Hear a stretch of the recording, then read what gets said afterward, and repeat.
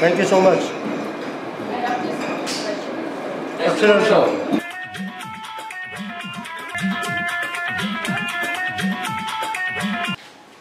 We all really enjoyed a lot.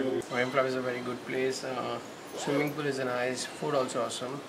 And beauty of nature is lovely over here. Uh, well, it was a wow experience here, and we got great service as well. And uh, we would love to, you know, annually plan our trips here. Rain Farms it is.